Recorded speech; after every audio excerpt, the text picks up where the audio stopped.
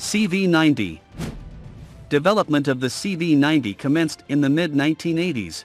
The baseline CV-9040 entered service with Sweden in 1993. The CV-90 recommended itself as a successful design. Since its introduction, the basic design was constantly improved and updated. The CV-90 was built in various versions. This the armored vehicle was exported to Denmark, Finland, Netherlands, Norway, and Switzerland. New versions of the CV-90 continue to emerge. The CV-90 has a welded steel armor hull. Applique armor can be added. It is claimed that the front arc of the CV-90 withstands 30mm armor-piercing rounds, used by the older Russian IFVs in airborne combat vehicles. All-round protection is against 14.5mm armor-piercing rounds. Latest versions of the CV-90 withstand blasts equivalent to 10 kilograms of TNT.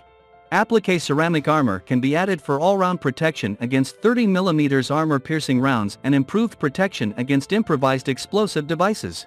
A slat armor can be fitted for protection against tandem charge RPG rounds.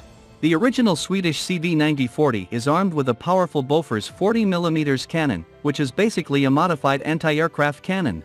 It can easily defeat pretty much all hostile armored personnel carriers and IFV and also poses threat to older tanks such as the T-55 and T-62.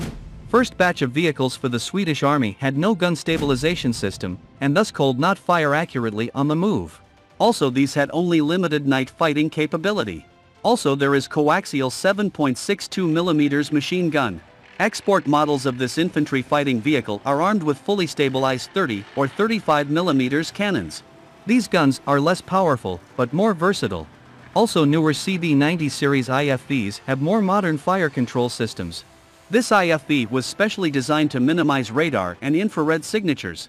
It also uses heat-absorbing filters to provide protection against thermal imaging, image intensifiers and infrared cameras. Vehicle also has quiet movement in order to improve stealth. With preparation this vehicle is amphibious.